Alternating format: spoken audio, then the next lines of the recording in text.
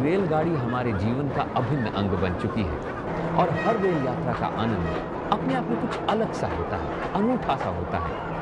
गाँव को छोड़, शहर से दौड़ भीड़ भाड़ से दूर भागती हुई रेलगाड़ियाँ एक रोमांचक सा दृश्य पैदा करती हैं। और न जाने कब से, न जाने कब से हम अपनी पहली रेल यात्रा के आनंद को लुटते आ रहे हैं, कभी निबंध के रूप में तो कभी पत्र के रूप में। ये मैदान से पहाड़ को जोड़ती है। गाँव से शहर का मेल कराती है। यातायात की धन्य है रेलगाड़ियाँ धड़कना, यानी गतिशीलता ही इनका जीवन है।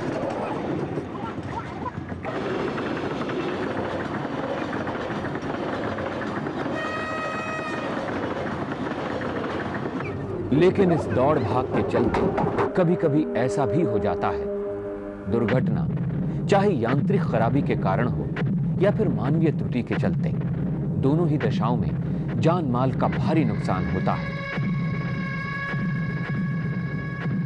रेल दुर्घटनाओं की समस्या पर काबू पाने के लिए रेल विभाग के इंजीनियर और तकनीकी कर्मचारी लगातार कोशिशें कर रहे हैं।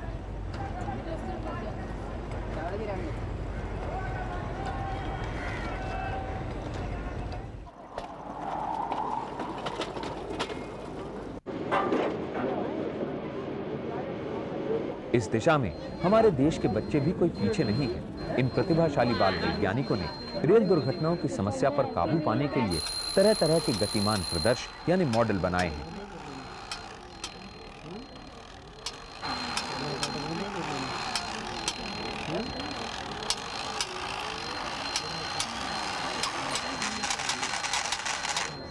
मेरा नाम नवनीत कुमार जैन है। मैं बिलासपुर से एमपी मध्य प्रदेश आया हूँ। मेरे स्कूल का नाम राजेंद्र कुमार सिंह, उच्चतर माध्यमिक शाला अकलतरा है।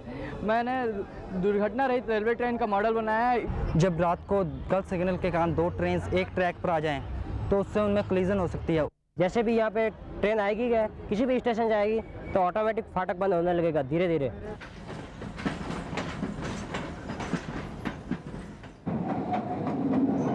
कुछ भयंकर दुर्घटनाएँ घटी। हमारे बाल वैज्ञानिक जी जान से जुट गए इन जानलेवा दुर्घटनाओं को रोकने में विज्ञान और प्रौद्योगिकी को बड़े कमाल से जोड़ा उन्होंने जीवन के इस महत्वपूर्ण आयाम से। जब रात को गलत सिग्नल के कारण दो ट्रेन एक ट्रैक पर आ जाएँ तो उससे उनमें क्लिजन हो सकती है। उसको रोकने के लिए हमने ट्रेन के आगे एलडीआर लगाया है। एल की फुल फॉर्म होती है लाइट डिपेंडेंट रेजिस्टेंस। जब दो ट्रेन आमने सामने एक ट्रैक पर आएँगी तो उस एक दूसरे की लाइट, एक दूसरे के एल पर पड़ेगी। तो एल जो है, वो सर्कल को ऑफ़ कर देगा और ट्रेन ट्रेन की ब्रेक्स लगेंगी और ट्रेन खड़ी हो जाएगी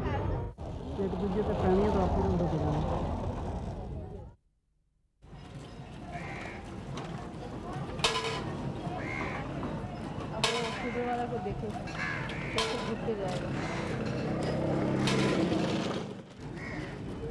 अरे भाई, रुको रुको।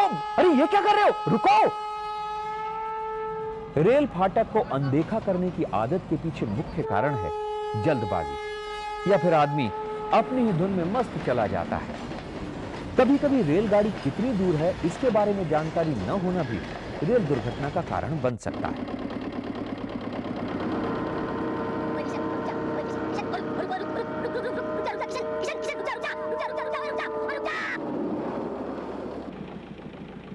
भाग जब बच गए। कितनी बार कहा है कि गाड़ी के सामने से मत निकाल मरेगा। क्या डरपोक है चाचा तू?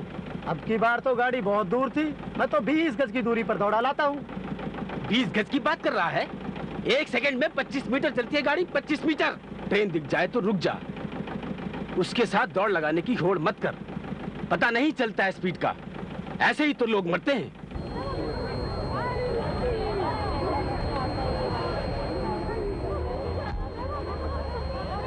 इस बाल वैज्ञानिक की चिंता है, रेलवे फाटकों पर होने वाली दुर्घटनाएँ। इसका समाधान इन्होंने पेश किया इस प्रदर्श द्वारा। यह है ऑटोमेटिक रेलवे क्रॉसिंग यहाँ पे क्या है कि दुर्घटना सीधे बली के हिसाब से रखा गया है। जैसे भी यहाँ पे ट्रेन आएगी, क्या किसी भी स्टेशन जाएगी तो ऑटोमेटिक फाटक बंद होने लगेगा धीरे धीरे तो फाटक बंद होने के साथ साथ में सायरन भी चालू हो जाएगा सिग्नल और ये रेल लाइट भी चालू हो जाएगी। जब तक फाटक बंद रहेगा, तब तक सायरन और सिग्नल दोनों चालू रहेंगे। मान लो कोई यहाँ पे अंदर रह के जाए इसको मालूम तो पड़ेगा नहीं रेड लाइट चालू है या नहीं। इसको सायरन सुन सकता है, वो वहाँ रुक जाएगा ऑटोमेटिक जब वापस ट्रेन क्रॉसिंग पार करके निकल जाएगी तो ऑटोमेटिक सायरन तो बंद हो जाएगा उसी के साथ में, और रेड लाइट भी बंद हो जाएगी। फिर ये येलो लाइट चालू हो जाएगी, पीली लाइट और फिर आप फाटक से ऊपर खुलेगा तो फिर ग्रीन लाइट चालू हो जाएगी। ये स्वचालित लेवल क्रॉसिंग यानी रेल का फाटक, बच्चों को भी बहुत अच्छा लगा। सचमुच, हमारे इन बाल वैज्ञानिकों की सूझबूझ का तो कोई जवाब ही नहीं।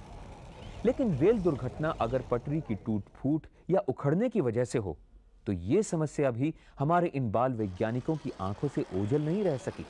बस, वो जुट गए इस समस्या का समाधान ढूँढने में। जानते हैं, उन्होंने इसका बहुत बढ़िया समाधान ढूंढा।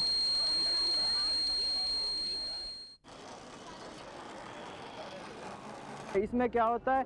कभी भी अपन इस ट्रैक को हटाते हैं। इस ट्रैक एनीवे कहीं से भी ट्रैक हटाते हैं तो ट्रेन ऑटोमेटिक स्टॉप हो जाती है और सिग्नल रेड हो जाते हैं। इससे ड्राइवर को कन, ये कंफर्म हो जाता है कि आगे ट्रैक टूटी हुई है और वह स्लोली स्लोली ब्रेक ब्रेक मार के ट्रेन को स्टॉप कर लेता है। इससे दुर्घटनाओं को रोका जा सकता है। सर चला के दिखाइए। यस सर ये ट्रेन चल रही है। जैसे ही अपन इस ट्रैक को हटाएँगे तो ऑटोमेटिक ट्रेन स्टॉप हो जाएगी। सर, ये ट्रेन स्टाफ हो गई है। इससे क्या होगा कि ये बाई द ये नहीं होता। तो यहाँ तक आती ट्रेन और दुर्घटना ग्रस्त हो जाती। क्यों? है ना कारगर और प्रभावशाली समाधान? इन बच्चों ने विज्ञान को जीवन से बड़े ही मनोयोग से जोड़ा है। ये प्रतिभाशाली बाल वैज्ञानिक इन प्रदर्शों को मूर्त रूप देने के लिए न जाने कितनी ही बाधाओं को लांघकर आज हमारे सामने आए हैं। लेकिन इनकी मेहनत, लगन तभी कामयाब हो सकती है जब इन प्रदर्शों को कोई संस्था अपनाए, उनमें आवश्यक सुधार करे और उनका बड़े पैमाने पर उत्पादन करे। इसलिए आवश्यकता है इन बाल वैज्ञानिकों को प्रोत्साहन देने की, इनकी प्रतिभा को आगे लाने की, ताकि देश इनकी प्रतिभा से लाभान्वित हो सके।